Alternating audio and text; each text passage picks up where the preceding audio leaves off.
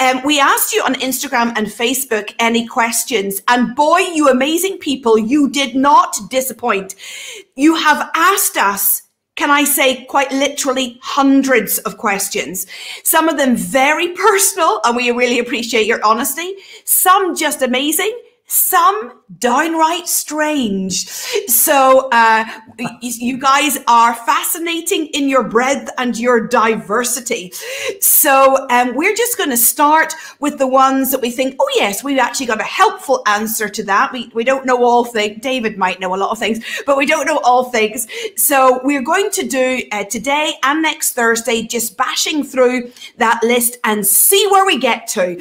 And some of them we deliberately haven't talked about publicly because some of them are actually quite controversial. But of course, you won't let us get away with, with hiding what we feel about the vaccine uh, or hiding what we feel, uh, uh, you know, about all those injections that are now semi-mandatory in our country. So I thought at one point, oh, we'll just not talk about the vaccine because it's so controversial. But no, you have given us a whole page of vaccine questions. So shall we start off with the vaccine? And shall we uh, alienate at least half of you, not intentionally, but uh, we'll we'll do our best to be biblical. Uh, but uh, we'll start we'll start off there, and uh, don't stone us in the comments if you disagree. Okay. Well, I David, you want to start, and I'll come in, in the back, or will I start and you come in in the back because you have lots of thoughts. Uh, on on on the big question. On the vaccine or will I on the vaccine you're starting you're starting there. I thought you were going to start on the do you like chocolate or not?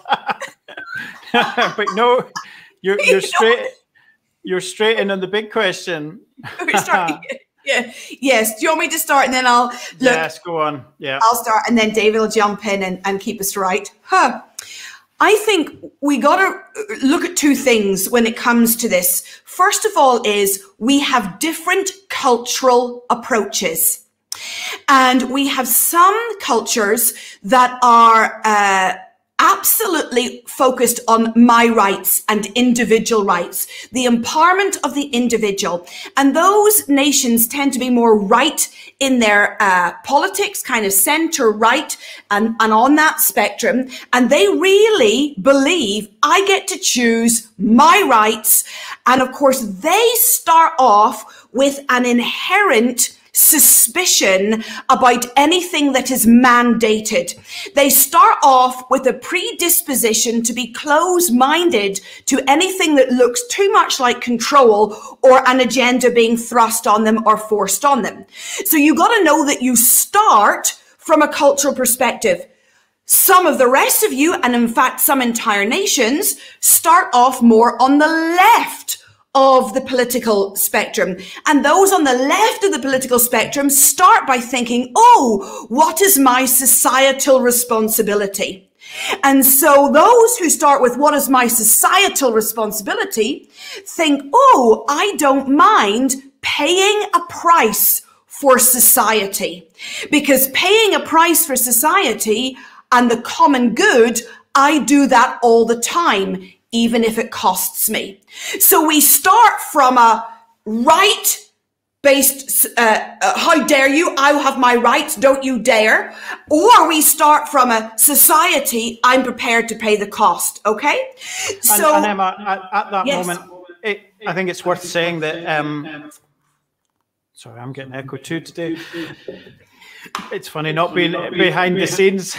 Um, the that, that those two approaches we'll have in in the comments and those of you watching today some of you will be um, you've said left and right um, uh, communitarian and libertarian whatever your language is for that we'll be on both sides and on whatever side what i would encourage you as you as you watch and listen to it is think can i be can I learn from people who hold the other opinion so yeah. if you're on the side of um, that more societal um, think about can I learn from those who are more individual? And the other way around, if I'm more individual, can I learn from those who are more uh, societal? And, and so think about it like that. Let's not have an argument who's right, who's wrong, which side should Christians be on, but actually, how can we learn from each other in this? How can we examine do I have a preconceived prejudice or cultural eye lens to this um, as we go. Okay. So then we so we just have to understand we've got a cultural default, fault, we've got a political default. Now then you layer that with some scripture, okay? And I would go straight to Romans 14. And it says this one person's faith, I'm reading directly, this is verse two. One person's faith allows them to eat anything. Do you remember the big conversation in the early church is do we eat food sacrificed to idols or not? Is it clean or is it unclean? But we, we lift this principle and we apply, apply it. One person's faith allows them to eat anything, but another's whose faith is weak eats only vegetables. The one who eats everything must not treat with contempt the one who does not. And the one who does not eat everything must not judge the ones who does, for God has accepted them all. And so this is the place where the, the, the word of God is saying, do you have faith for it? Do you have faith for it? And so you don't judge those who don't, but we go to Romans 14 and we ask the question, do you have faith for the vaccine? And so Paul is really saying, I think there, if you have faith for something, take it. If you don't have faith for something, don't take it. But you don't judge because God has accepted all. Now, interestingly, this pushes on verse five. It's straight out of scripture, verse five. One person considers one day more sacred than another, others consider every day alike. Each of them should be fully convinced in their own mind. Okay. So what that is saying is, look, some of you follow every festival, every feast day. You are really rigorous in your observance of things. But some of you don't follow any of them because to you every day is holy. And that gives this great grace from God to do it according to your faith. All right. So let's nail our colors to the mask. In fact, verse 12, uh, go and read the whole of Romans 14. Verse 12 then goes on to say, each of us will give an account of ourselves before God. Yep. So, um, yeah. Have I had the vaccine? Yes, because I have faith for it. I had mine a few weeks ago. Has Sarah Jane had the vaccine? Yes, she's got faith for it. Is David getting the vaccine? You've not had it. You're getting yours tomorrow at half 12. So have we had the vaccine? Yes. Now, why is that? Because we have faith for it and because we happen to be more in that societal responsibility mindset. And even if there's a weakness in that, we're prepared to go with that and run out with the consequences of that because we have faith. So that I hope that answers the question. David, add add to that. Yeah, another encouragement alongside that is um, when you're making decisions about anything, use Holy Spirit discernment. Do not use fear. If fear is in any part of your thinking, you need to stop yourself and and spend time with the holy spirit. Get yourself back to that place of faith. Get yourself back to the, again as emma says what do i have faith for? So that you're making decisions based on faith of the holy spirit faith in god trust in god and not fear. Um, there's a lot of fear. I've even seen it in the comments. Fear about this fear about that speculation on this and that. And some of it comes to do with some um, rather skewed interpretations of uh, of end times things which which makes people suspicious but actually you need to you need to step away from all fear step away from um, places that are making you fearful and that includes some videos that you might watch online and go back to the holy spirit and say holy spirit settle me in my spirit about the decision that i'm taking. Um, can i just address one um, comment that, has come up in the in in the the uh, in the comments? Um, and that is about um, are the vaccines um, full of aborted fetuses. Um, now, I'm not a medic, but I do. Um, I am passionate about science. Um, I, I, studied science for many years. I have spoken to scientists. I've researched a lot, but you need to do your own search and research from trustworthy, reliable sources on this. Um, the uh, and and I'm obviously pro-life as well. When I when I say this, the some of the vaccines don't involve fetal cells at all. Uh, they are not involved in that. The Pfizer vaccine in the UK is mRNA, it's not fetal cells at all. Other vaccines are taken from a cell line from the, I think it's the kidney of a child who was aborted in the 1970s in the Netherlands. And the Oxford vaccine is that. So, what scientists did was they took the cells from a child who had died. We don't know whether they were deliberately killed by the mother or whether um, they yeah, died I mean, yeah, can I just. In, in those that's really, really, really, really important. Abortion was illegal at that point. So it's unlikely to have been abor- an aborted baby. Come on, guys. We got to be a little bit more academically intelligent. You can't just say, oh, there's abortion in it. There's an abortion in it. When actually abortion wasn't even illegal. So they wouldn't have been using that. It, it, it, it, didn't exist. But remember, remember I used to work for um, a pregnancy care charity as my first paid job. Remember, what do you call early days miscarriage? What is the medical term for a miscarriage? Spontaneous abortion. You got to know these things. So when they're taking a spontaneous abortion, that is actually miscarriage. So actually you're taking for something that the body has lost. Yeah, but, but yes. Okay. We're going places I'm not sure I'm happy to go, but yeah. and and but in terms of what people are, are are saying about that they're killing babies and putting them into the vaccines that's not what's happening there was a tragedy and whether that was a man-made tragedy or a, there, there, was a tragedy at the start of all this, and they took the a cell, cell line from that kidney of that child um, back then.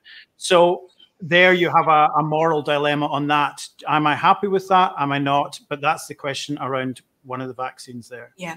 I think the other thing is somebody in the comments is saying, Don't you believe God protects you? Of course he does. But God has protected me many times through the gift of medicine. Medicine is not the absence of God. Medicine is, the, is often the gift of God. And I think God loves healing spontaneous miracles as much as he loves the skilled hand of a surgeon. And I think to God, medicine is not second rate or second best. I think what God doesn't like is when we come to him second. I think God says, you come to me first and I'll guide you in, are we in spontaneous miracle or are we in the miracle of the intelligence of the surgeon? I've had eight lots of abdominal surgery over my life. I am thankful to God for the medicine that he has allowed to come on planet earth. We go into it with prayer. We go into it with due diligence. As long as God is for, first, and I am, and I have the faith for uh, that. Oh, well, that was interesting in the comments, wasn't it? Yeah. Your salvation is even being questioned. Our salvation Somebody's saying I'm not even a proper Christian. Marvelous. Sarah Jane, let's hear your voice. Why don't you read another one of the questions and let's go a different direction? Okay. Awesome. Um, I think there was a few questions on economic shaking, and we we probably want to go to the another big theme of the season that we're in, with the prophets prophesying about the shaking continuing.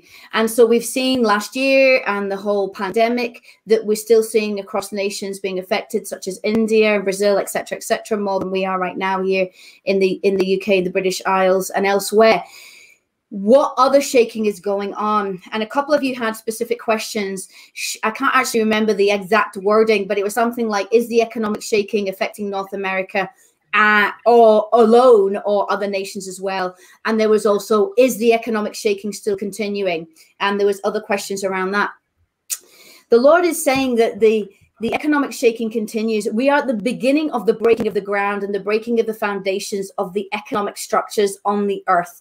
And we are in a process where God is saying, I am tearing down and I am uprooting those foundational pieces uh, from even previous reformations of e economics, even over, I feel like the last thousand years, where we've come in as human beings to say, what's most important is where I make wealth and I can make a profit. And so we saw things like, um, Andrew Carnegie in 1889, for example, who wrote a paper uh, which has been termed as the gospel of wealth. And we saw all of our trajectory over make money, make profit, and give your profit away phil- philanthropically, if that's philanthropically, um, be generous and change society. And I feel like the Lord is saying actually it's the end of those days where where wealth in a few hands made a difference to society. And we're flipping things around, he's saying, where we're coming to the economics of mutuality. To get there, there is a shaking of foundations. There is a breaking of foundations. So you'll be feeling under your feet personally, or you should be. How am I managing my personal finances? Where am I putting my money? What am I earning? Financially and what am I doing with that? Lord, give me a new vision for the mutuality of economics that is coming to the earth and is on the earth now. What is economics of mutuality? Mutuality means who am I benefiting? Um, people and what land am I benefiting? Because it's the Leviticus 25 model of Jubilee economics. It's about giving land rest and giving people rest. And so there's too much of that teaching probably um, that we can go into uh, in a shallow way right now, but we can teach on that more another time if we need to. But there's that sense of actually the Lord saying the foundations of what has been built on personal wealth, sustaining personal wealth, those structures that have said profit is the aim, wealth is the aim, God is shaking. And nations that have put their hopes in wealth for solutions, like Andrew Carnegie's phrase of the gospel of wealth, money is where it's at. The Lord is saying to us, nations uh, who rely on money and wealth will not save nations in this hour. And it's the economics of mutuality where we're at. So expect that shaking to continue through this decade. Expect that shaking to continue beyond this decade and actually be asking the Lord, how do I steward my finances and what, what are we to do with them? It is all, all new in that regard as we enter into this new era. The shaking will continue in all nations and it will manifest in different ways. And so we will see China become the Joseph of nations. God is giving China uh, a a solution to help nations economically. Now we can see that as a threat and go, China's trying to control things, or we can see it as what I believe it is another controversial thought, guys, that actually God is using China to save nations from themselves, where wealth has become the dominant goal. And so this this communal wealth process of economics of mutuality is a journey I believe that we're going on as the people of God over this next decade into 50 years. And I won't be around, I don't think, uh, when we see the fullness of this coming out the other end, but we are on that journey. How about this? Haven't we as church and as church leaders, you know, we enter into that thought as well but as business people myself and my husband and and david and emma you've worked in corporate world and and earned, earned salaries in that in that way where people church leaders particularly look at business people and think actually i need your money power. Yeah i need your money power. And there's this warped sense of what the money can do and what money can do to shape things and actually, God is saying, people of God, step back. Yes, I'm giving you resources, but where you have said, this is how I will change things, money has power. I think we've probably all thought that because that's our cultural norm in the West. The Lord is saying, I'm shaking that. I am shaking that. I am resetting your thought about finances. And so expect that to come to you personally, expect it to come to your own sense of how we deal with our own resources, home, money, salary, uh, what we own, um, and think, God, give me the mindset of the economics of mutuality, which is Leviticus 25, of how can I bring rest to people and how can I bring rest to land? And what does that then look like when we think about what is in our hands? So there's, yeah, there's a lot to say on that, but that would be my top line. Brilliant, Sarah Jane. David, do you want to jump in on that? Re- really, I mean, uh, these are deep, deep thoughts because of the nature of the re uh, set that God is doing right across the face of the earth. And we are going to see China rise as a power uh, in the world. And we are going to see the West uh, in a diminishing place. Uh, and, and that I do think God is behind and God is backing that. Uh, and that is massively challenging for those of us in the West who want to lead and to want to be in front and we want yeah. to be in charge and we want to be in control and we want our greed and we want our individualism and we want our rights and we want our mm-hmm. independence and we want our superiority and we want to subjugate other nations and we want to have mm-hmm. it our way and we want trade deals that bless us only. And we want to be able to have that colonial mindset still in us that we might rape other nations and that they might, you know, mm. oh, how high does your quality of living actually need to go? I mean, how many cars do you actually need that are elite? Mm-hmm. You know? And so on this, God is saying, I actually am going to shake the West because the West has been greedy, independent, and uh, individual and not been a good elder statesman in the blessing of other nations. And we have an ugly, ugly, ugly colonial past, an ugly yeah. colonial past, all of the Western nations. And I do believe that God is saying, look, I'm going to move the balance of power because mm-hmm. you have sinned. Now, does that mean China is beautiful and brilliant and clean and pure? Absolutely not. But the whole way through the history of the world, God uses unrighteous war, unrighteous wars, and he has unrighteous people fight unrighteous people, and whoever is the least unrighteous wins.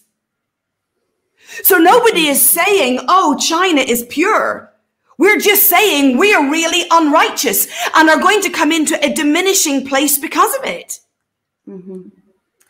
Yeah, and we've got to be ready to be um, have our, our thoughts and our opinions shaken. You know, the current the status quo right now suits us. It suits us. It suits me. It suits my ministry. It suits my lifestyle to have yeah. the status quo stay as it is for the next I don't know how many hundred centuries. Great very we'll be very blessed here in Scotland. Our ministry will be very blessed. We'll do what we did. We'll do it bigger and better and bolder with more lights and more sounds.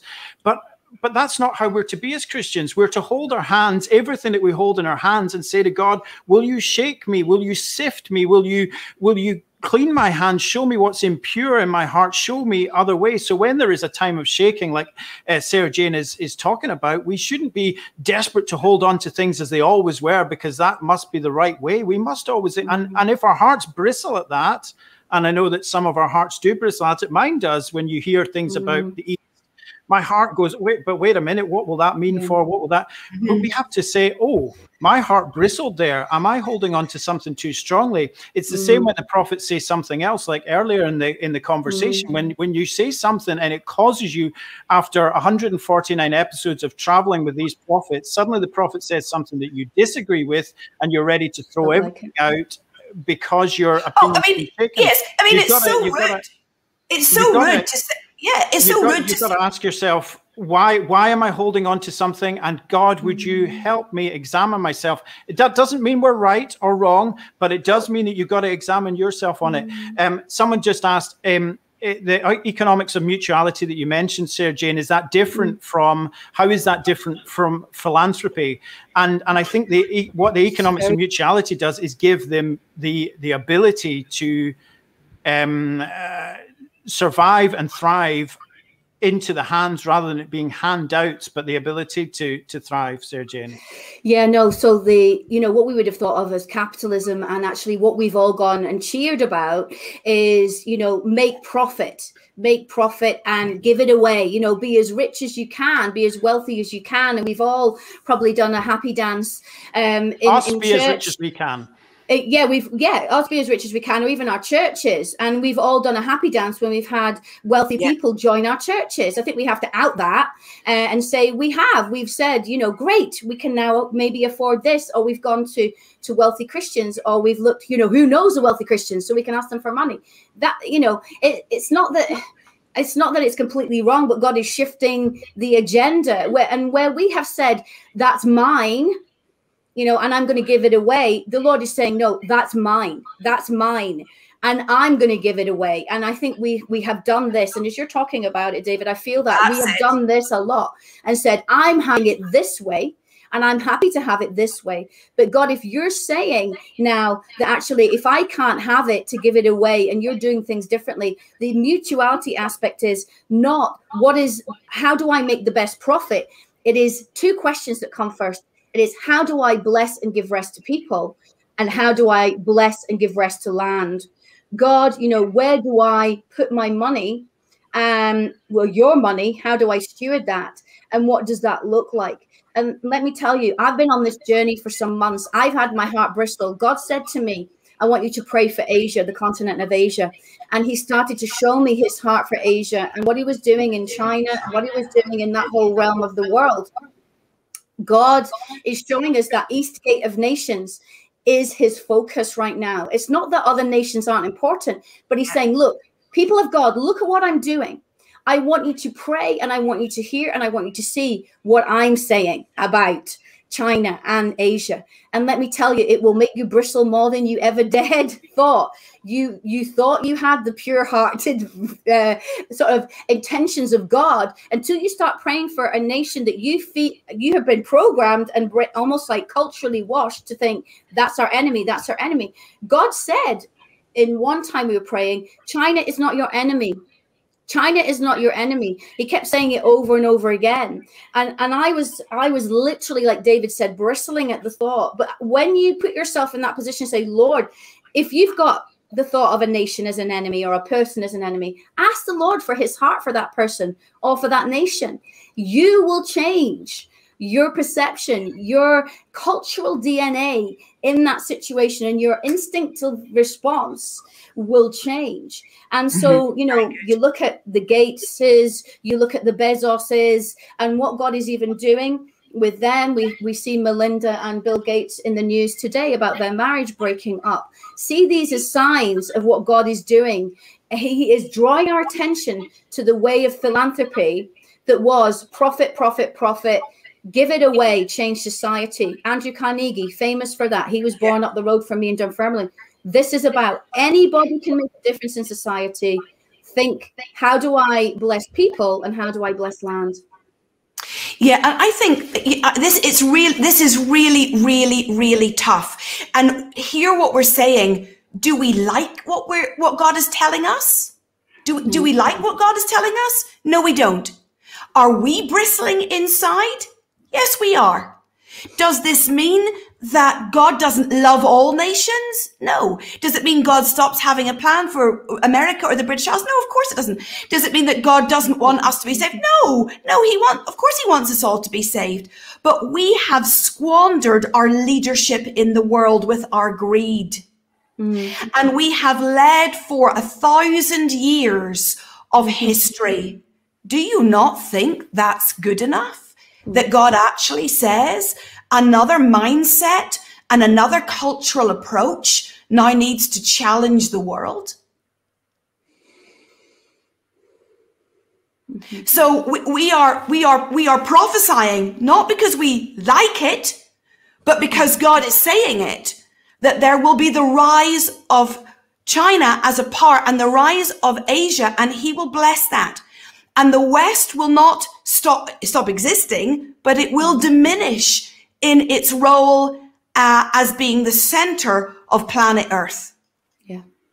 Not easy, is it? Ooh, no, I mean, I actually just taught on a private channel. How long did I teach on Thursday night? Starting two hours on this. I know it was intense. And I did say to David this morning, do I just need to do a special broadcast to explain this really strongly for, but you'd have to listen to my voice for about two hours for me to do it justice. If you want me to do two hours of teaching on exactly why this is happening more than I can do in 20 minutes here, I might do a special broadcast, but not if you're going to stone me for doing it. uh, okay. There's always stones. Comments yes, yes, uh, yeah, typed stones. Uh, because actually, uh, does that mean we'll be communist? I don't think so. I think their cultural ideas will start to uh, shape us. Um, uh, you see, see, tell me this: what Chinese or Asian worship leader are you following? because they have a completely different way to stewarding the presence of God. We only know how to approach the presence of God through a Western way, don't we? We, we only follow Western worship leaders. We only follow Western teachers. We've actually completely dismissed how the Asians find Jesus. We've dismissed how the Asians read scripture. We've dismissed how the Asians worship. A completely different mindset. Totally, totally different mindset. Because we think ours is the only way. Mm-hmm. Right. I think Shall and, we? And the West is getting reformed. China is also getting reformed. And their economic system and structure is getting reformed. There's a whole new way that God is bringing, but He's going to bring it through China. So what you see there isn't necessarily what is going to get replicated. It is being shaped even now this economics of mutuality. But because China has the fertile ground, because they think about people in the way that some of us don't like, God's saying, I'll use them and I will show you the model from there. Wow, wow, wow. So now that um, uh, now that we've done uh, the COVID vaccine and the rise of China, shall we? There's some other controversial questions. I you didn't give us an easy ride with these questions. Oh, you can understand why we've kept uh, uh, some things to ourselves, but you asked. Shall we? Shall we have some nice questions before I pick out another controversial one? Uh, uh there are great questions on delivering children of demons. But David, you have a little pet hobby horse in here.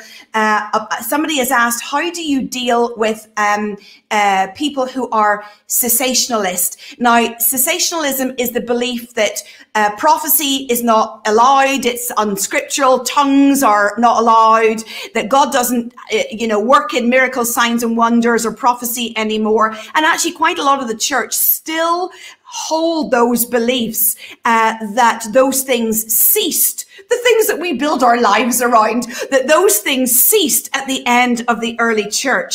So somebody saying, now say something on climate change. Do you know I have a whole teaching on climate change? But uh, even I might not go there. Uh, so, uh, not today, not today uh, on climate change. But David, do you want to answer the question on cessationalism that the gifts ended at the end of the early church?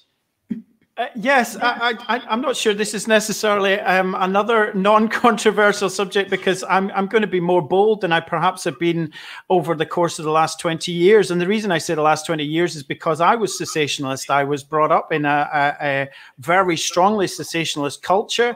Um, Scotland as a nation is dyed in the wool cessationalist as a as a thing. But actually, what what was probably more accurate was um, I, I didn't know that there was any gifts or even much about the Holy Spirit. So it was more ignorant than actually being anti something because I didn't even know about the thing that I was anti about. But certainly, yeah. if you'd gone deeper into the doctrines that I was brought up with, I was I was broadly cessationist. Gifts had ceased. The signs, wonders, and miracles that we read about in Scripture had had um, had ceased, and that's how I was brought up. And it wasn't until um, I started to meet people who believed a different opinion that I started to look again at scripture and I was like, well, this is all in my Bible. This is the book I believe in. I am going to start to believe in it. And it was a it was a fair old wrestle in our in our student years, our, our late late uh, teens and, and early twenties. Emma and I wrestled over these things ourselves. And and um, but what I would say in answer to the question, what do I say to someone who is who is challenging me on this, is that for a long time, I think we who believe in the gifts of the Spirit, who believe in the power of the Spirit, who believe that signs, wonders, miracles, the signs of the kingdom are for today, we've been on the back foot and felt that we have to justify our position and we have been called the heretics. Actually, the truth is that cessationalists are the heretics, if ever there was. They are the oh. ones. I, am I'm, I'm serious. You now, just called them heretics. Look, they're my brothers and sisters in Christ. Uh, this is not a. This is not something that um, I, I, would still take a bullet for them, um, for sure. But we've got to start being more positive about what the Bible says about um, miracles, signs, wonders, healings, the signs of the kingdom, and and actually there are there are three or four, if even that, one plus two, three, four sort of verses that are proof texts that people use to try and justify that these things don't happen nowadays. But there, it's it's it's simply uh, the case that they are proof texts taken out of context to try and justify something that actually is based on I don't see it happening with my own eyes, so therefore it can't be true, and I will build a theology around it. We have to be more positive about what the Bible actually says about what is what is possible. And the, yeah. the early church fathers all believed this. Justin Martyr, Irenaeus, Gregory, um, Tertullian. Ter- Augustine, he changed his yeah. mind. He he wasn't initially, but he, you know, th- this is this is not something that is new to the, the, the last century. No, absolutely. And I think what fascinates me is uh, in Revelation, I've talked about it a lot, Revelation 11, when you get the rise of the two prophets, uh, that God actually has in his end times calendar. You asked us a lot about the end times, but we'll not do that today because that requires whole power hours. But in God's end time calendar, he does raise prophets up to steward his word in the nations. It's part of God's end time plan. And I think there is that sense of, you know, you will completely um, have no ability to work with that if you don't believe prophecy is for today. is how God works in the latter days of the earth and these prophets who rise up. And of course, you will have heard me say many times that actually what, what, what I feel we're doing is creating the culture and creating the environment where prophets of that kind of substance can start to have a hope of growing so that God has got prophets on the earth when he needs them for that moment. Yep. So uh, that's a massive motivation for me. So uh, I, I think David, you're right that the we don't need to prove anything. I think cessationists do need to come up with some better, more biblically robust uh, uh arguments. I think I think they need to answer. Here's here's some uh, a scripture um, to to perhaps that will help the the, the person asking the question. Um, the, someone who argues from the the the opposing point would need to um, address James chapter 5, verse 13. Eh, is anyone among you in trouble? Let them pray. Is anyone happy? Let them sing songs of praise. Is anyone among you sick? Let them call the elders of the church to pray over them and anoint them with oil in the name of the Lord. And the prayer offered in faith will make the sick person well. The Lord will raise them up. If they have sinned, they will be forgiven. Therefore, mm. confess your sins to one another. And then he goes on because he knows that what he said is controversial. He knows that he'll get kicked back. And he says, Elijah was a human being, even as we are. He prayed earnestly that it would not rain, and it did not rain on the land for three and a half years. Again, he prayed, and the heavens gave rain, and the earth produced its crops. Uh, uh, my brothers and sisters, if any of you should wander from the truth that someone should bring that person uh, back, remember this. And and and he goes on. James is dealing with the argument there. He says Elijah was was not just special; he was a human being, even as we are, and he did these miracles. So you know, just one scripture where James addresses that problem. Um, there's there's great resources. D. A. Carson uh, Gordon Fee, Jack Deere, Wayne Grudem, Sam Storms, um, great writers, Craig, yeah. Craig. There's there's lots of heavyweight theologians who can help um, with that. Heavyweight, respected theologians who will help with that. Great, woo! Sarah Jane, do you want to pick another one? We've got some questions about deliverance. We could do those. Sure. Um, there was a there was one actually specifically that we both I think um, had highlighted yeah, Emma, which I think is is relevant for anybody really who has somebody who's suffered with trauma in their lives. Uh, what do you do when your 18 year old needs deliverance from trauma from sexual assault? That that was a mm. very specific question. And i think um, emma and i had, had seen that one and thought yeah actually we can talk into that because it's not just for that one question and one that one person but many many people have suffered with trauma even in this last uh, year. And many people have suffered with um, abusive trauma sexual abuse or verbal verbal and physical abuse. And so what do you do when you have had this this trauma appear I think mm, going back to the first question, we don't disregard help that we can get that is outside of spiritual. We, we don't want yeah. to over spiritualize everything and just say it's all spiritual in root because there are great resources out there. We will get to the spiritual bit. But I think what's important to say is we do rely on things like talking therapy and counseling. You know, we do rely on things like, you know, if somebody is depressed because of trauma, then they go and talk to the doctor about antidepressants because there can be a chemical imbalance that needs antidepressants. So we don't disregard what's available help outside of the spiritual world and outside of the spiritual context. We look at everything that is available to somebody who's had a traumatic experience. But I think spiritually, specifically, then we can do a number of things. First of all, we can bind shock and trauma, whether the person is a Christian and given their life to Jesus or not. We can bind it and say, you know, I bind shock and trauma on this person and off this person's body and life.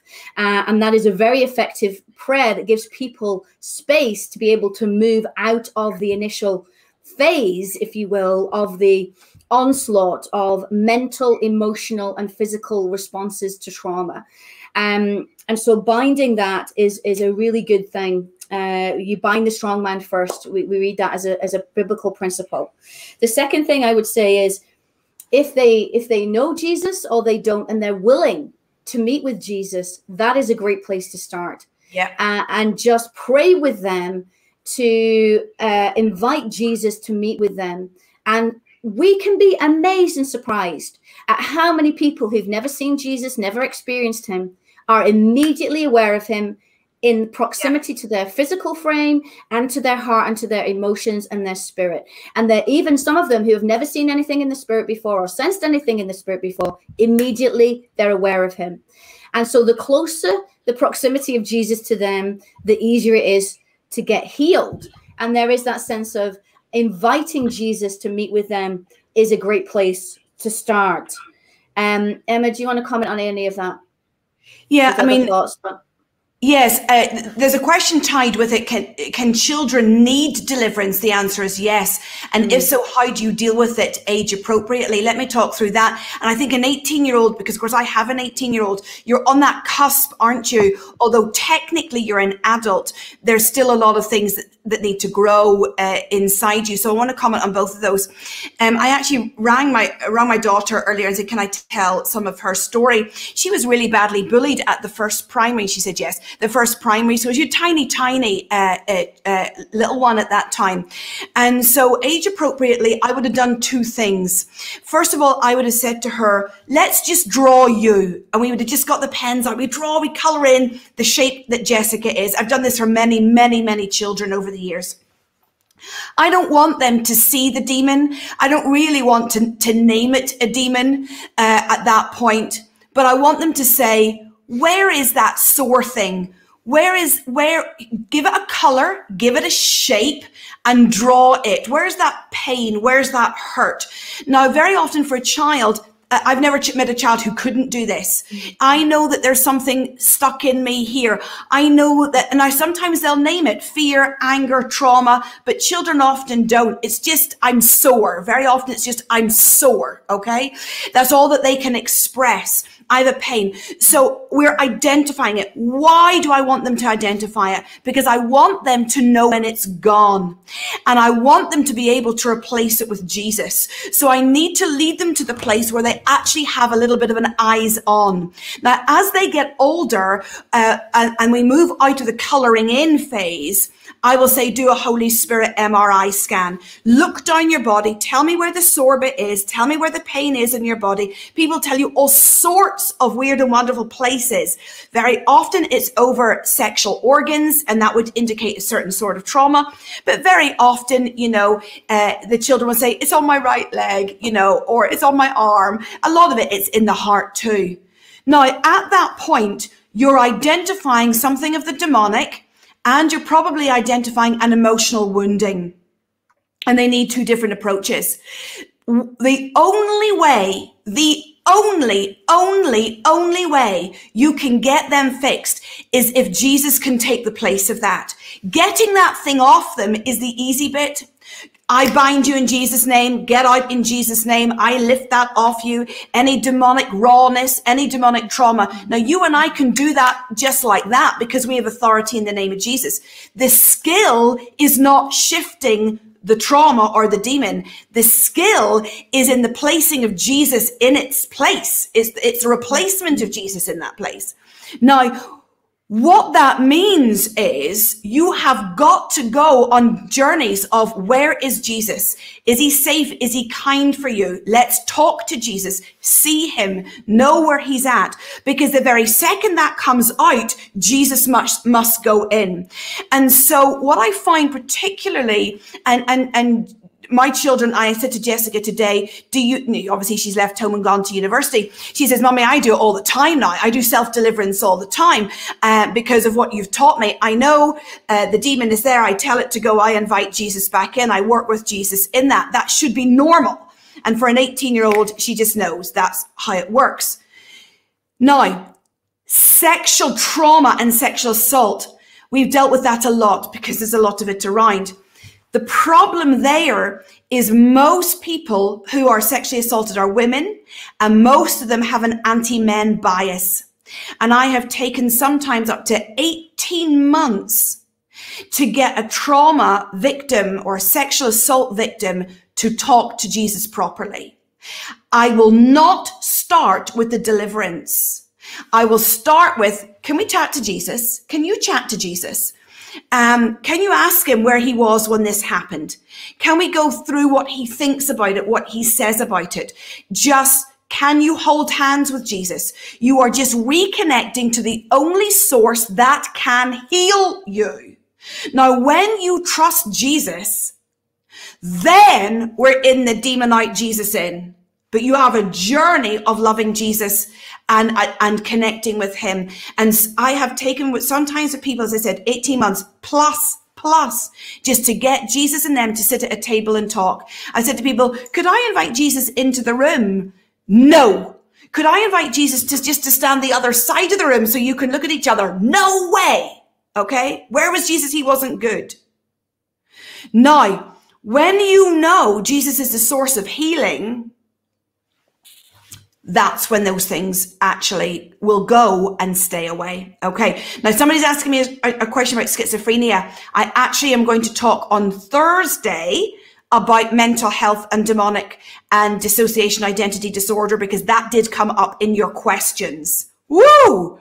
Thursday is going to be controversial too. So, because um, of course I, I uh, worked in mental health for years. So uh, that's a fun one. But this is just answering the deliverance portion of it first. Other thoughts, uh, Sarah Jane?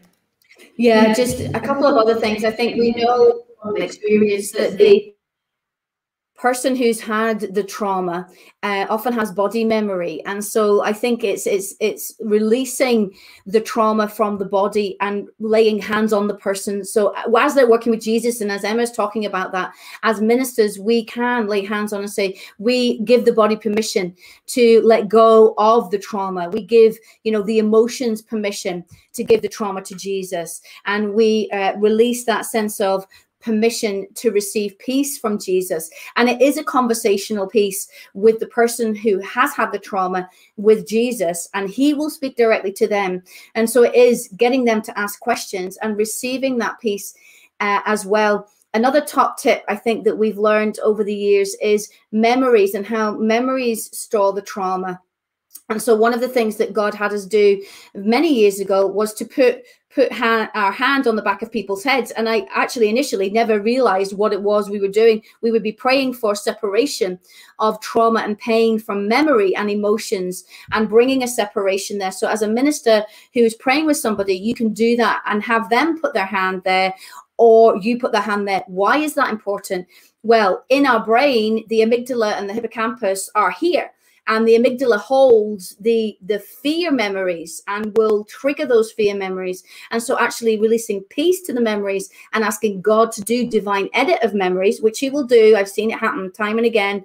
Um, and separate emotions from those fear memories so that you get space for the, those people to work with jesus.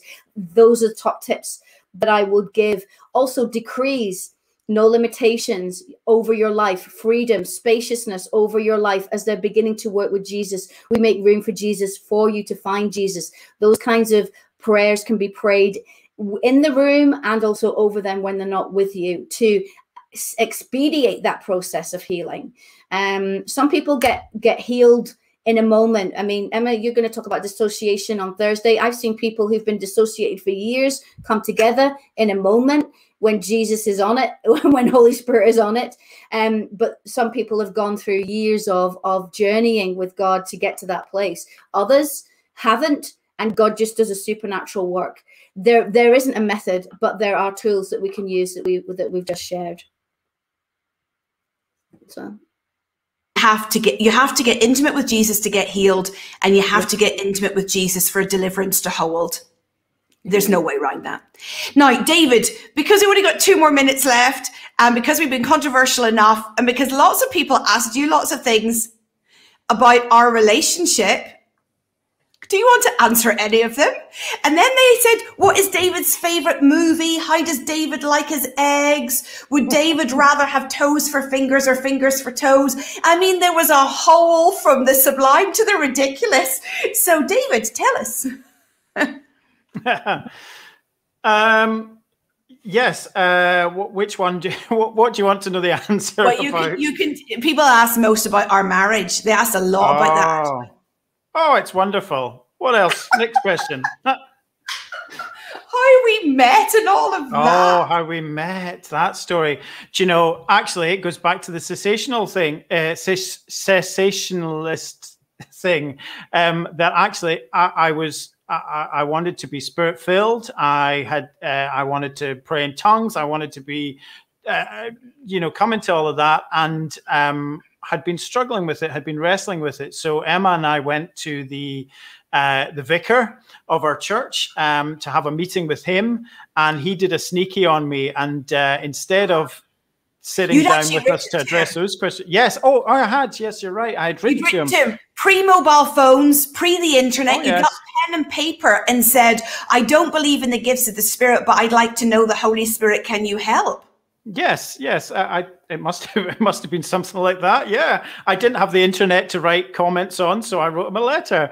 Um, but it was a, it was a genuine, it was a searching um, question at the time. But he did a sneaky, and rather than address that question, he went straight in for the jugular and um, uh, said, "You two are boyfriend and girlfriend. Are you sleeping together?" Was his first question to us. First question. Which uh, which we said no. Yes, yeah, we said no. Um, and then what did he say next? He said, He um, said, Do you love each other? Do you love each other? And, and I thought, I'm not answering this. I want to see what David says. yeah, I don't think that question had necessarily come up um, uh, at that, that that point yet. No, no, we um, were just dating. And so you uh, said, yes. What did you say? You said yes. And then he said, Are you in love? And you and, said, Yes. Yes. And, I, and then he said, Are you going to get married? And I thought, this is a moment where I've got to learn how to be silent. We've not had this conversation. And what did you say? Yes. and at that point, I'm like, I, I, did, I didn't know he loved me. I didn't know he was in love with me. I didn't know he was going to marry me. And then the minister said, well, let's get you baptized in the spirit. And I'm like, can we just have the marriage chat now? and then I, I was, uh, I was down in the spirit and, uh, and talking in tongues. Yeah, for hours, for hours, and I'm going. He's just told the minister we're going to get married. so he, he just he he got me on logic on that one. It was a, if I if we were in love, um, then why wouldn't we be getting married, I suppose. But had I had I not had it presented to me like that, I, I would probably still be today fretting and wondering and, and all the rest. So yes, he got me he got me on the logic of it, and then the spirit got me. Uh, he got me on both sides that day. Yes. Mm. And actually, wow. you were so full of the spirit for hours, I couldn't even ask you the question, what did you mean about the marriage? For hours and hours and hours. Anyway, hallelujah, Jesus and we've been married 23 years. What years, favorite movie, David? Go on, land yourself in it. Oh, it's mm, it's a bit it's very sweary because it's Irish, so it's got lots of swearing in it. Sorry, it's the commitments. Um, There's an indictment I, of the Irish. that Irish way where every second word is a swear word. Uh, uh, yes, yeah. the commitments, but uh, I haven't seen it for many years. But it's got soul music and trumpets and uh, comedy and Irish people. A lot of my favorite things all in one place. That's very kind of you. Okay, brilliant.